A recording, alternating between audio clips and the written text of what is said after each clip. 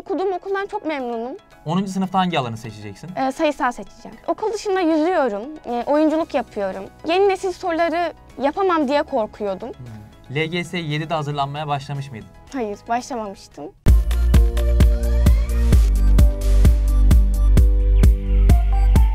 Hepinize merhaba arkadaşlar. Şubat ayı müfredatıyla karşınızdayız. Yanımızda sıkı takipçilerimizden biri var. Aden Duru Orak. Merhabalar. Hoş geldin. Hoş bulduk. Biraz kendinden bahsetsene.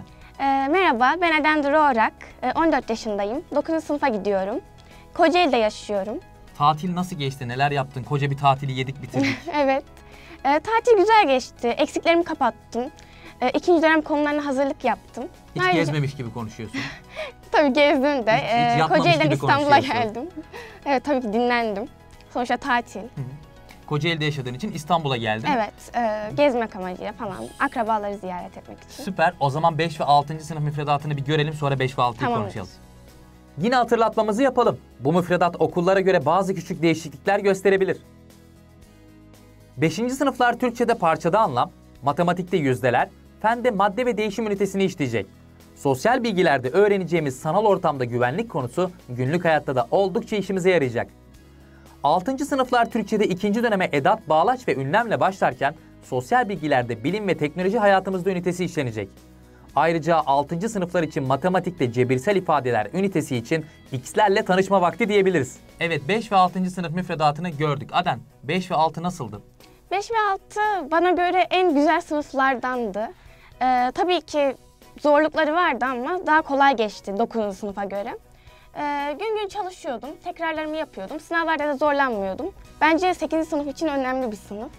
Ee, bu yüzden Yavaş yavaş 8'e 7'ye 8'e hazırlık için tam altyapı oluşturduğumuz evet, seneler. temel atmak için çok önemli. Temel atma merasimlerini yaptığımız seneler bunlar. Peki 5 ve 6. sınıf arkadaşları şuna dikkat edin ya diye böyle önemli bir şey söyleyebilir misin? Bence işlem önceliği çok önemli. Sanırım 5 ve 6. sınıftaydı. Buna çok dikkat etmeliler çünkü ben hala çok zorlanıyorum o konuda. Ee, işlemlerde çok önemli oluyor. Bu yüzden ona dikkat ederlerse. Şimdiden bunları çalışarak bir temel oluştursunlar diyorsun. Evet. Peki Aden okul dışında neler yapıyorsun? Ee, okul dışında yüzüyorum, ee, oyunculuk yapıyorum. Ayrıca bir Instagram blogum var, e, Cafe with Daily adında. Ee, orayla ilgileniyorum, motivasyon e, veriyorum. Bu şekilde. Bir sürü şey yapıyorsun aslında. Oyunculuk dedin. Oyunculuk deneyiminden biraz bahsetmeni istiyorum. Ben senin ben sana çünkü göz aşinalığım var fakat bilmeyen arkadaşlar vardır belki. Ee, evet, Hayat Şarkısı gibi dizilerde oynadım. Ee, Birçok reklamda oynadım, sinema filmlerinde. Peki o zaman 7 ve 8'i görelim. Sen geçen sene LGS'ye girmiştin. Biraz evet. bunu konuşalım daha sonrasında. Şimdi 7 ve 8. sınıf müfredatı geliyor. 7. sınıfa baktığımızda Türkçe'de söz gruplarında anlam, matematikte oran orantı, İngilizce'de celebrations var. Kritik bir bilgi. LGS'de karşımıza çıkacak periyodik cetvel konusunu rahat çözebilmek için bu ay fende işleyeceğimiz elementlerin sembolleri konusunu iyi öğrenmemiz gerek. 8. sınıfa baktığımızda Türkçe'de parçada anlam, matematikte doğrusal denklemler, fen bilgisinde basit makineler var. Yine kritik bir bilgi. Matematikte doğrusal denklemler öğrencilerin zorlandığı bir konu ve LGS'de her yıl 2 ya da 3 soru buradan gelir. Evet 7 ve 8. sınıf müfredatında gördük. Adem, LGS 7'de hazırlanmaya başlamış mıydın? Hayır, başlamamıştım. Peki ne tavsiye ediyorsun bu konuda? Kimse başlamasın mı 7'de? Bence 7. sınıfta zaten yani bir hazırlık yapmış oluyorsunuz. Konu, bir- yani konuları öğreniyoruz sonuçta. Ama yazın başlayabilirsiniz. Yani 7 ve düşünüyorum. 8 arasında Ee, bağlantılar var. Evet, baş- bence. başlanılmalı diyorsun. Peki 8. sınıftan bahsedelim. Geçen yıl nasıldı hazırlığın, LGS hazırlığın? Yani aslında planlı çalışıyordum. Düzenli olarak soru çözüyordum ama çok güzel bir sonuç elde edemedim. Beklemediğim bir sonuç elde ettim. Neden? Çünkü ben cidden çok e, stres yapıyordum. Çok sınav kaygım vardı. Özellikle matematik için. Diğerleri zaten full ya da full'a yakın oluyordu ama matematikle sıkıntım vardı. Ne Çok- kadar sıkıntın vardı? Aslında Yani çok da değildir çok, belki. hayır çok sıkıntım yoktu. Çok da severim matematik. Şu anda da en sevdiğim ders ama yani yeni nesil soruları yapamam diye korkuyordum. Hmm. Aslında çok büyük bir sıkıntım da yoktu ama bir 20 net yapıyordum. Bir 7-8 net yapıyordum. Bu yüzden çok, Çok değişiyordu. değişiyordu. Ondan korkuyordum. Zaten Sınavda sınavda da oldu? sınavda da kötü sonuçlarından birini aldım. Neden? Sınav nasıl geçti? Sınav e, sözel anlamda çok güzeldi.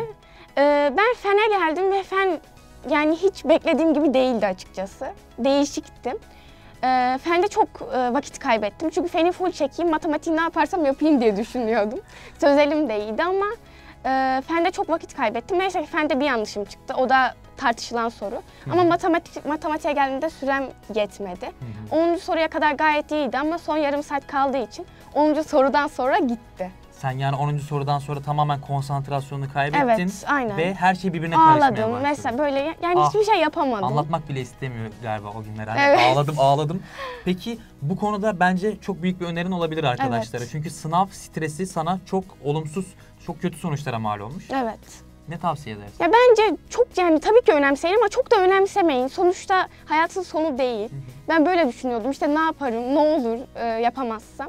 Öyle de değilmiş. Şu anda da hayatıma devam ediyorum. Stresi birazcık azaltalım çünkü Aden e, o sınavdan belki beklediği sonucu alamadı ama Evet. şu an okuduğu Ee, okulda. şu an okuduğum okuldan çok memnunum.